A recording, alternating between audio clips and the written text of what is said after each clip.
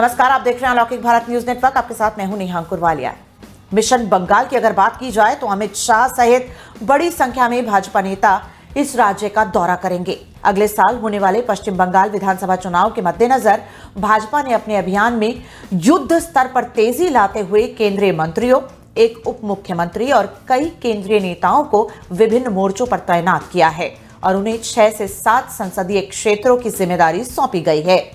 Party सूत्रों से मिली जानकारी के मुताबिक केंद्रीय गृह मंत्री अमित शाह इस सप्ताह के अंत तक राज्य का दौरा करेंगे।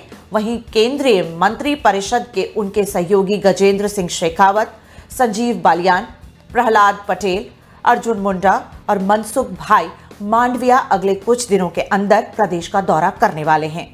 वहीं उत्तर प्रदेश के उप मुख्यमंत्री केशव प्रसाद मौर्य और मध्य प्रदेश सरकार में वरिष्ठ मंत्री नरोत्तम मिश्रा को भी पश्चिम बंगाल में ज़िम्मेदारी सौंपी गई है।